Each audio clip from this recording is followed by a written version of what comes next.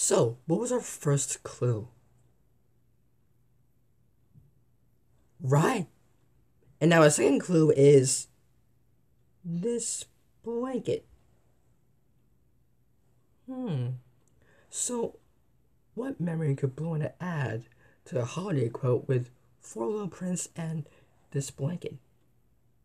What do you think? Yeah, maybe, but I think I better find a last clue just to be sure.